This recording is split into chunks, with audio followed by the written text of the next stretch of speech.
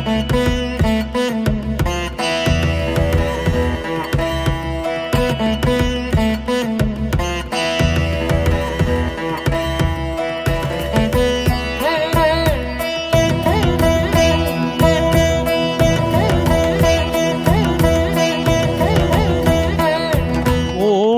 நிரஞ்சனாய வித்மகே நிராபாசாய தீமகி. தன்னோ ஸ்ரீனிவாச பிரச்சோதயாது. ஆன்மீக அன்பர்களே ஜெயா தொலைக்காட்சியுடைய அருள் நேரம் நிகழ்ச்சியிலே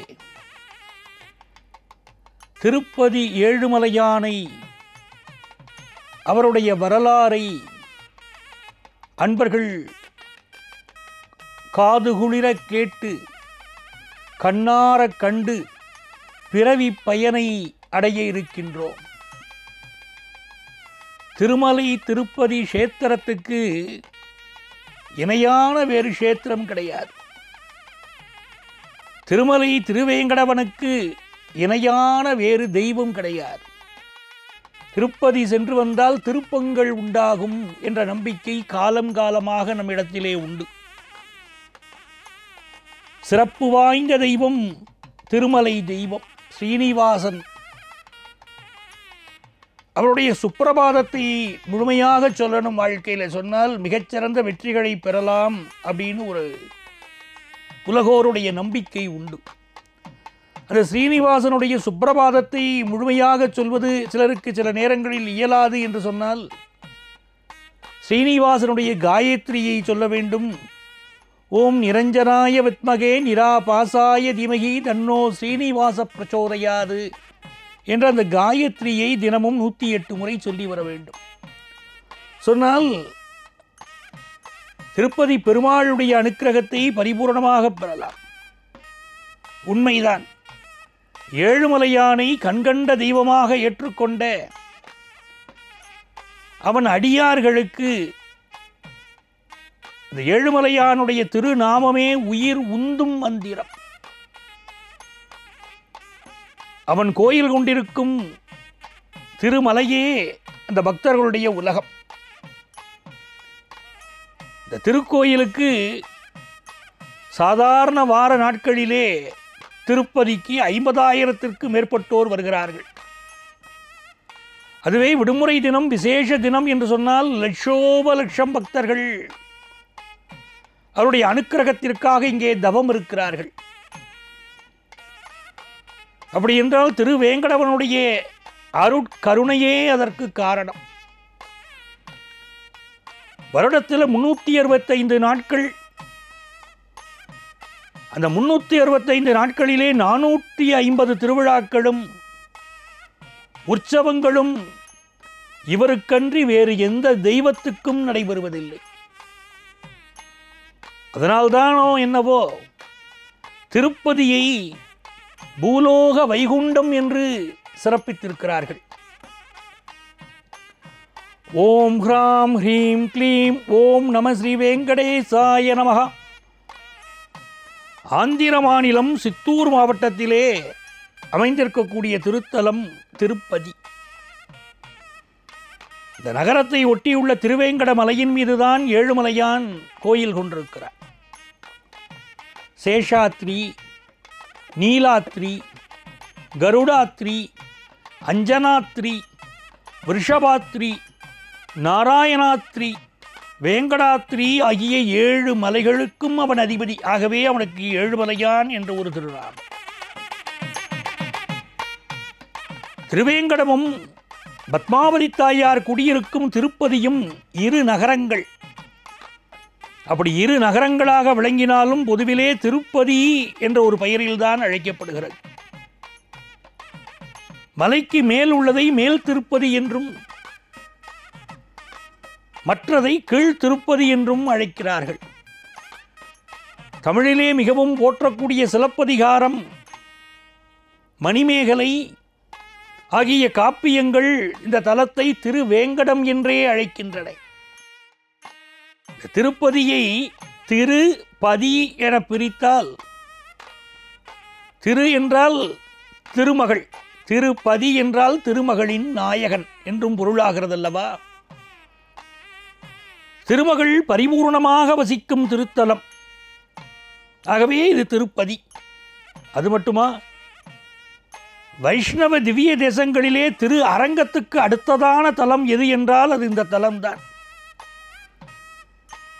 ஆழ்வார்கள் மங்களாசாசனம் செய்திருக்கிறார்களா என்று பார்த்தால் ஆழ்வார்களிலே பத்து பேர்கள் பாசுரங்களை பெற்ற க்ஷேத்திரம் இந்த திருப்பதி கஷேத்திரம். திருப்பதியுடைய தல வரலாறு எங்கிருந்து துவங்குகிறது என்று பார்த்தால் தேவலோகத்திலே பிருகுமுனிவரிடமிருந்து துவங்குகிறது. ஒரு முறை இந்த முனிவர்கள் உலகத்திற்கு சகல நன்மைகளும் பெருக வேண்டும் என்று நினைத்தார்கள். உலகத்திலே துயரங்கள் அதிகமாக இருக்கிறதே அநீதிகள் அதிகமாக இருக்கிறதே. இவையெல்லாம் அகன்று இந்த உலகத்திலே சகல நன்மைகளும் பெருக என்ன செய்யலாம் என்று அவர்கள் யாகம் நடத்த முதலே தீர்மானித்தார்கள்.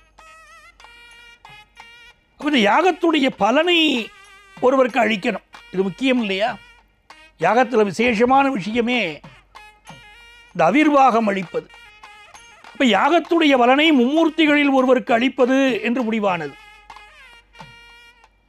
அந்த மூவரிலே யார் இதற்கு மிக தகுதியானவர் அப்படின்னு பார்க்கணும். அந்த பொறுப்பை யாரிடம் கொடுத்தார்கள் என்றால் பிருகுமுனிவரிடம் கொடுத்தார்கள். இந்த பிருகுமுனிவருக்கு ஞானக்கண் உண்டு.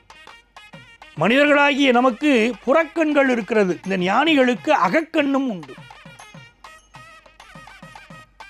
நமக்கெல்லாம் முகத்திலே கண்கள் இருக்கிறது என்று சொன்னால் மிருகமுனிவருக்கு பாதத்திலே ஞானக்கண் உண்டு. நம்ம இஎஸ்பி பவர்னு சொல்கிறோமே எக்ஸ்ட்ரா சென்சிட்டிவ் பவர் எதிர்காலத்தை உணரக்கூடிய ஆற்றல் என்று சொல்கிறோம். அந்த எதிர்காலத்தை உணரும் சக்தியும் உண்டு அவருக்கு. ஆனால் அவருக்கு ஒரு குணம் இருந்தது. அந்த எதிர்காலத்தை உணரும் சக்தியை வைத்துக்கொண்டு பிறரை மட்டம் தட்டுவதிலே அவருக்கு ஒரு அலாதி இன்பம். அதனால் உண்டான அவரது கர்வத்தை பங்கம் செய்ய பரம்பொருளும் ஒரு தருணத்தை எதிர்பார்த்திருந்தது. அந்த தருணம்தான் இப்பொழுது நெருங்கி வந்தது. பிருகுமுனிவர் முதலிலே சத்தியலோகம் சென்றார். சத்தியலோகத்திலே யார் இருப்பார்கள்? சரஸ்வதியும் பிரம்மதேவனும் இருந்தார்கள் தனித்து இருந்தார்கள் ஒரு கணவன் மனைவி தனித்து இருக்கிற போது உள்ளே செல்வது நாகரிகம் அல்ல. அனுமதி பெற்றுத்தான் செல்ல வேண்டும் என்பது இல்லாமல் பிருகு முனிவர் அனுமதி பெறாமல் உள்ளே நுழைந்து விட்டார். உள்ளே நுழைந்ததும் அங்கிருந்த பிரம்மா அதை கண்டித்தார். பிருகுமுனிவருக்கு கோபம் வந்துடுது. ஒரு முனிவனாகிய நான் வந்திருக்கிறேன். நான் வருகிற போது அனுமதி பெறாமல் ஏன் வந்தாய் என்று இந்த பிரம்மா கோபிக்கிறார். இந்த பக்தரை என்னுடைய பெருமையை உணராத இந்த பிரம்மதேவனுக்கு நீ உலகிலே பூஜையே நடக்காது என்று சபித்து விட்டார். முதல்ல சத்தியலோகம் போயாச்சு. அடுத்தது கைலாயம் செல்லணும். சத்தியலோகம் என்பது பிரம்மனுடைய இருப்பிடம் கைலாயம் என்பது சிவபெருமானுடைய இருப்பிடம் அடுத்தது வைகுண்ட லோகம் வைகுண்ட லோகம் என்பது பெருமாளுடைய ஸ்தலம். திரு கைலாயத்திற்கு செல்கிறார். அங்கே போனால் அங்கே சிவனும் பார்வதியும் தனித்திருக்கிறார்கள் அங்கே இருந்த தடைகளை எல்லாம் பொருட்படுத்தவில்லை. இவருக்கு தான் பிருகுமுனிவருக்கு தன்னை யாரும் தடுத்தால் பிடிக்காதே ஆகவே தடையை பொருட்படுத்தாது உள்ளே நுழைகிறார். எப்படி பிரம்மன் கண்டித்தானோ அதை போல இங்கே சிவனார் கோபித்தார். பிருகுமுனிவரை பார்த்து இப்போ பிருகுமுனிவருக்கு கோபம். என்னை நீ தடுக்கிறாய்? ஏன் இந்த நேரத்தில் நுழைந்தாய்? என்று கேட்கிறாய் சிவபெருமானே. உனக்கு பக்தர்களை எதிர்கொள்ளக்கூடிய பக்குவம் கூட இல்லையே என்று சிவபெருமானுக்கு இவர் சாபம் கொடுத்தார் பிருகுமுனிவர். அவர் பிரம்மனுக்கு கொடுத்த சாபம் பிரம்மா உனக்கு பூலோகத்திலே கோயிலே கிடையாது என்ற சாபத்தை கொடுத்தார். ஈசனுக்கு என்ன சாபம் கொடுத்தார் என்று சொன்னால் ஈசனே இந்த பூலோகத்திலே இனி உனக்கு லிங்க ரூபம் தான் இருக்கும் என்று சாபம் கொடுத்தார். அந்த லிங்க ரூபத்துக்கு தான் பூஜை நடக்கும் என்று சபித்தார். அடுத்து பார்த்தார் இன்னும் ஒரு லோகம் மிச்சம் இருக்கிறது அது வைகுண்டம். அங்க போகலாம்னு சொன்னார் அங்கே சயனத்தில் இருந்தார் திருமால். முனிவர் வரப்போகிறார் என்று அவருக்கு தெரிந்திருந்தார். முனிவரின் வருகையை அறிந்தும் அறியாதவராக அறிதுயில் கொண்டிருந்தார். அந்த துயிலுக்கு பேரே அறிதுயில் அறிந்தும் அறியாமல் இருப்பது தூங்குவது போல் பாசாங்கு நாங்க நம்ம ஊர்ல. அறிதுயில் கொண்டிருந்தார். மிகுந்த கோபம் கொண்டார் பிருகுமுனிவர். நான் வந்திருக்கிறேன் இந்த பெருமாள் உறங்கிக் கொண்டிருக்கிறார். நான் வருகிற போது எப்படி அவர் உறங்கலாம் என்று சொல்லி பெருமாளுடைய மார்பிலே எட்டி உதைத்தார் மிருகமுனிவர் பெருமாளுக்கு இப்போ கோபம் வரணும். நம்ம மார்பில் ஒருத்தரை எட்டி உதைச்சா நமக்கு கோபம் வரும். ஆனால் பெருமாள் கோபப்படவில்லை. எப்போ ஒருத்தருக்கு கோபம் வராது? நம்முடைய மார்பிலே யார் எட்டி உதைத்தால் நமக்கு கோபம் வராது? ரோட்டில் போகிற வரவங்கெல்லாம் எட்டி உதைத்தால் பேசாமல் விடுவோமா?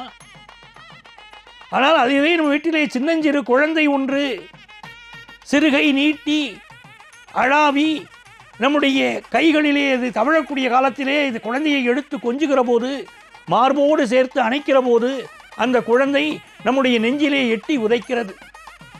மனமெல்லாம் ஆனந்தமாக நமக்கு இருக்கிறது. அந்த குழந்தையை மீண்டும் நெஞ்சரியிலே கொண்டு போய் அப்பாவுடைய நெஞ்சிலே இன்னும் எட்டி உதை என்று சொல்கிறோம்.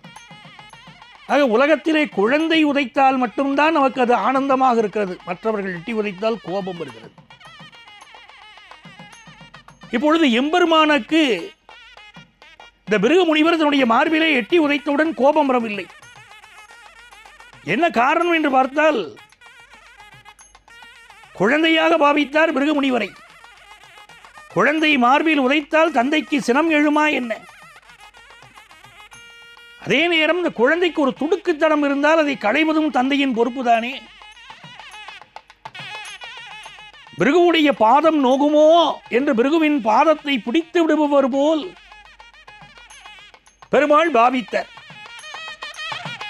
இந்த பிருகுமுனிவருக்கு பாதத்திலே கண் என்று முதலிலே சொன்னேன்.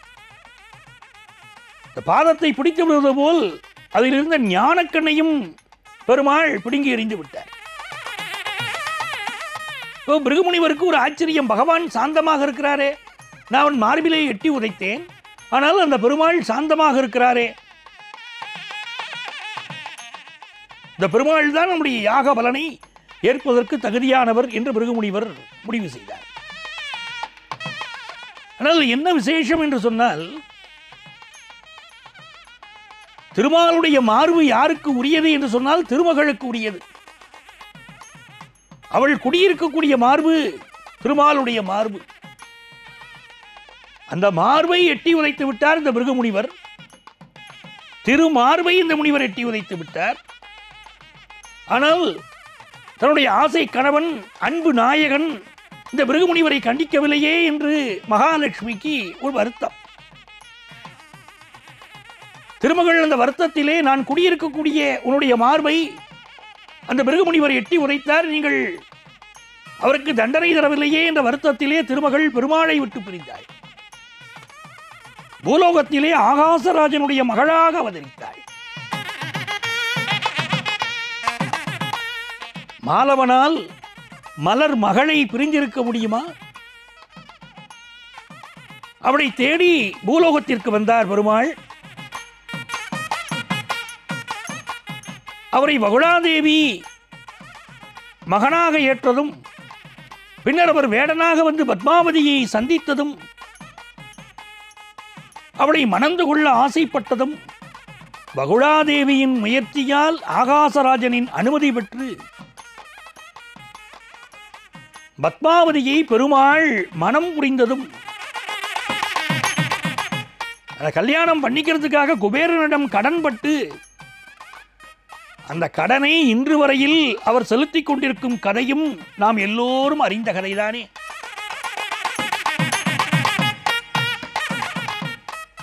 இனி இந்த வரலாறுக்கு அப்புறம் நாம் தெரிந்து கொள்ள வேண்டிய விஷயம் இந்த கோவிலுடைய பூஜை வழிபாட்டு நியதிகள்.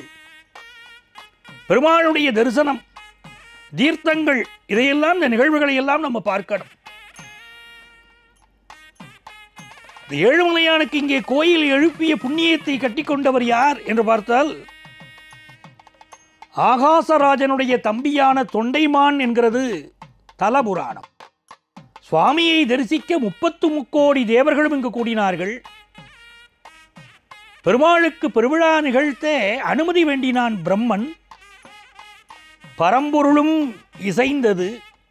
அது முதல் துவங்கியது திருமலையுடைய பிரம்மோத்சவம். அந்த பிரம்மோத்சவம் துவங்கிய அந்த அனுபவத்தை மெய் சிலிர்க்க வைக்கக்கூடிய நிகழ்வை தான் இங்கு உங்களுக்கு நான் எடுத்துச் சொல்கிறேன்.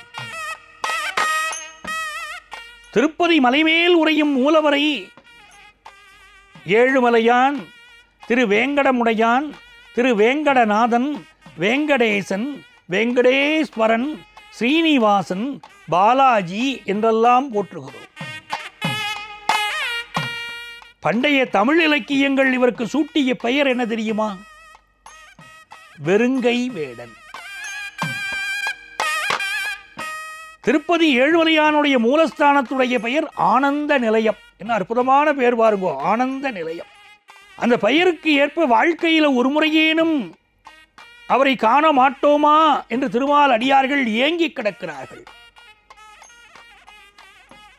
அவர்களுக்கு சில வினாடி பொழுதுகளில் பல கோடி புண்ணியத்தை பெற்ற பேரானந்தத்தை தருகிறார். திருப்பதி ஏழுமலையான். அரை மணி நேரம் நின்று நாம் சேவிக்கிறது இல்லை சில நொடிகள் தான் அவரை சேவிக்க வாய்ப்பு கிடைக்கிறது.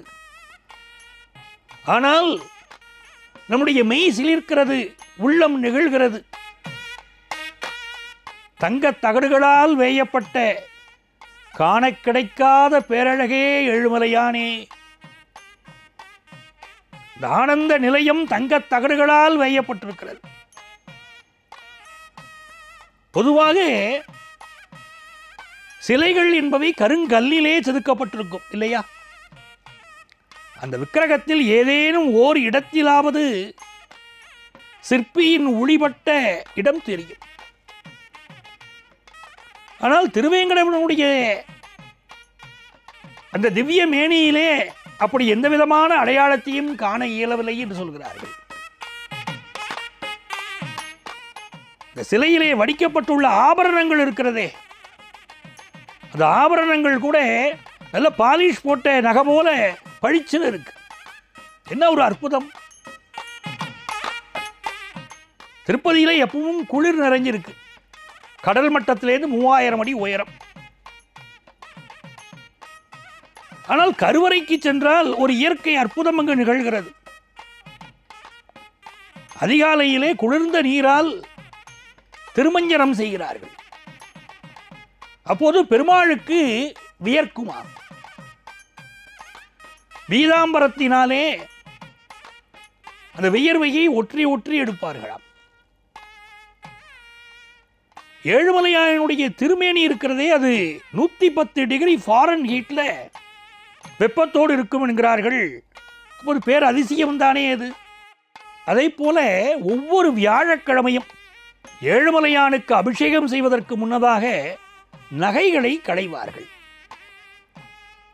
அப்போது ஏழுமலையானுடைய ஆபரணங்களும் கதகதப்போடு இருப்பதை உணர முடியுமா? அவருக்கு எப்படி பிரசாதம் படைக்கிறான்னு பார்த்தோம்னா தினமும் ஒரு புதிய மண் சட்டியிலே பிரசாதம் படைக்கிறார்கள். தயிர் சாதம் தவிர வேறு எந்த நெய்வேத்தியமும் கர்ப்ப கிரகத்துக்கு முன்னுள்ள குலைசேகரப்படியை தாண்டுவதில்லை. இந்த மண் சட்டியும் தயிர் சாதமும் பிரசாதமாக கிடைப்பதை பக்தர்கள் தங்கள் வாழ்க்கையிலே மிகப்பெரிய பாக்கியமாக கருதுகிறார்கள். இந்த திருப்பதி ஆலயத்திலிருந்து ஒரு கிலோமீட்டர் தொலைவு போனோம்னா சிலா தோரணம் அப்படின்னு அபூர்வமான பாறைகள் இருக்கின்றன. உலகத்தில் இங்கே மட்டும்தான் இந்த பாறைகள் இருக்கின்றன. இரநூத்தொன்பது கோடி வருஷம் அதோடைய வயசுங்கிறார் ஏழுமலையானுடைய திருமேனியும் இந்த பாறைகளும் ஒரே விதமானவை என்று சொல்கிறார்கள். அப்ப எவ்வளவு கோடி? இருநூத்தொன்பது கோடி ஆண்டுகள் பழமையான ஒரு விக்கிரகம் என்பதை நாம் புரிந்து கொள்ள இயல்கிறது. ஏழுமலையானுடைய மேனியிலே பச்சை கற்பூரம் சாத்துகிறார்கள். பச்சை கற்பூரம்ங்கிறதே ஒரு வகையான ரசாயனம் கலந்தது என்பதை நாம் அறிவோம். சாதாரணமாக கற்களிலே இந்த பச்சை கற்பூரத்தை தடவி வந்தால் காலப்போக்கில் அந்த கல்லில் வெடிப்பு விழும். ஆனால் ஏழுமலையான் கோயிலிலே நடக்கக்கூடிய அதிசயத்தை பாருங்கள். முன்னூத்தி அறுபத்தஞ்சு நாளும் பச்சை கற்பூரம் தடவுகிறார்கள். எந்த பாதிப்பும் ஏற்பட்டதில்லை. சுவாமியுடைய அபிஷேகத்துக்காக குங்குமப்பூவை ஸ்பெயின்லேருந்து வருது குங்குமப்பூ. நேபாளத்திலேருந்து கஸ்தூரி வருகிறது. சீனாவிலிருந்து புனுகு. பாரிஸ்லேருந்து வாசனை திரவியங்கள். வரவழைக்கப்படுகின்றனவா? தங்க தாம்பாழம் ஒன்று எடுத்து அதில் சந்தனத்தோடு வாசனை திரவியங்களை கரைத்து அபிஷேகத்திலே சேர்க்கிறார்கள். அத்தோடு ஐம்பத்தோரு வட்டில் வட்டில்னா சல்லடை போன்ற அபிஷேகத்தட்டு இருக்குமே அதுக்கு பேர் வட்டில்னு பேர். க்ஷீராபிஷேகம் முடிஞ்ச உடனே அந்த கஸ்தூரி சாத்தி புடுகு தடவப்படும் காலையில் நாலரை மணிலேருந்து அஞ்சரை மணி வரைக்கும் அபிஷேகம் நடக்கிறது. அந்த அபிஷேக நேரத்தில் எம்பெருமாள் தனது மூன்றாவது கண்ணை திறப்பதாக ஐதீகம். கோடி கோடியாய் பணத்தை கொட்டினால்தான் நமக்கு ஏழுமலையானுடைய அனுக்கிரகம் கிடைக்குமா என்று சொன்னால் அப்படி இல்லை. தூய அன்போடு ஒரு துளசி இலையை சமர்ப்பித்தாலும் ஏற்றுக்கொள்வார் எம்பெருமாள். பெருமாளுக்கு உகந்தது துளசி. ஆனால் இந்த பெருமாளுக்கு வில்வத்தாலேயும் அர்ச்சனை உண்டு. வெள்ளிக்கிழமைகளிலும் மார்கழி மாதங்களிலும் வில்வார்ச்சனை செய்யப்படுகிறது. சிவராத்திரி அன்னைக்கு திருப்பதியில கஷேத்திரபாலிகா அப்படிங்கிற ஒரு உற்சவம் நடக்கிறது. அன்னைக்கு உற்சவ பெருமாளுக்கு வைரத்தில் வீபூதி நெற்றிப்பட்டை சாற்றப்படுகிறது. நல்லா பார்த்துக்கணும் நம்ம. பெருமாளுக்கு வில்வத்தினால் அர்ச்சனை. அந்த கஷேத்திரபாலிகா அன்னைக்கு அந்த உற்சவம் நடக்கிறதே அப்போ. பெருமாளுக்கு விபூதி நெற்றிப்பட்டை. அது சாத்தப்பட்டு தான் வீதி உலா நடைபெறுகிறது. இன்னொரு விசேஷம். தமிழ்நாட்டில் ஸ்ரீவில்லிபுத்தூர் கோயிலில் இருந்துதான் இந்த ஆண்டாள் அணிந்த மாலைகள் திருப்பதிக்கு கொண்டு செல்லப்பட்டு ஏழுமலையானுக்கு சாத்தப்படுகிறது. திருப்பதி கஷேத்திரத்தில் விழாக்களுக்கு பஞ்சமே இல்லை. வைகுண்ட ஏகாதசி ராம நவமி கிருஷ்ண ஜென்மாஷ்டமி என்று வைணவ பண்டிகைகள் அனைத்தும் மிகச்சிறப்பாக கொண்டாடப்படுகின்றன. இவை அனைத்துக்கும் மகுடம் சூட்டும் விதமாக ஒவ்வொரு ஆண்டும் புரட்டாசி மாதம் இங்கே பிரம்மோத்சவம் நடக்கிறது முக்கிய விழாவாக இருக்கிறது. பிரம்மனே நேரில் வந்து இந்த உற்சவத்தை நடத்துவதாக ஐதீகம். இந்த நேரத்தில் ஒரு வாரத்துக்குள் பத்து முதல் பதினஞ்சு லட்சம் பக்தர்கள் திருமலையிலே குவிகிறார்கள். திருப்பதியில் மிகவும் முக்கியமான தீர்த்தங்கள் குமார தீர்த்தம் தும்புரு தீர்த்தம் ராமகிருஷ்ண தீர்த்தம் ஆகாச கங்கை பாண்டு தீர்த்தம் பாப வினாச்ச தீர்த்தம் சுவாமி புஷ்கரணி.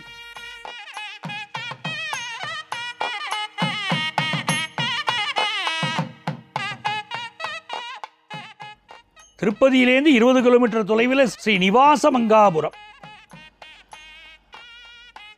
பழங்காலத்தில் பெருமளவில் பயன்பாட்டில் இருந்து இப்போ திருப்பதி தேவஸ்தானத்தாலே சீரமைக்கப்பட்டிருக்கு. பிரதான கோவிலான திருப்பதி மலைக்கோவில் மட்டுமல்லாமல் இங்கு ஸ்ரீ வராக சுவாமி கோவில் ஸ்ரீ வெங்கடேஸ்வர சுவாமி கோவில் ஸ்ரீ பத்மாவதி கோவில் ஸ்ரீ கோவிந்தராஜ கோவில் ஸ்ரீனிவாச மங்காபுரம் ஆகிய ஆலயங்களும் இந்த நகரிலே காணப்படுகின்றன. மலைக்கு மேல் ஸ்ரீ ஆதிவராக மூர்த்தியை தரிசித்து விட்டுட்டு தான் ஏழுமலையானையும் மற்ற சன்னதிகளையும் தரிசிக்க வேண்டும்ங்கிறது ஐதீகம். ஆகாச கங்கை பாப வினாச்ச நீர்வீழ்ச்சி ஆகிய தீர்த்த தலங்களையும் பக்தர்கள் தரிசித்து வர வேண்டும்.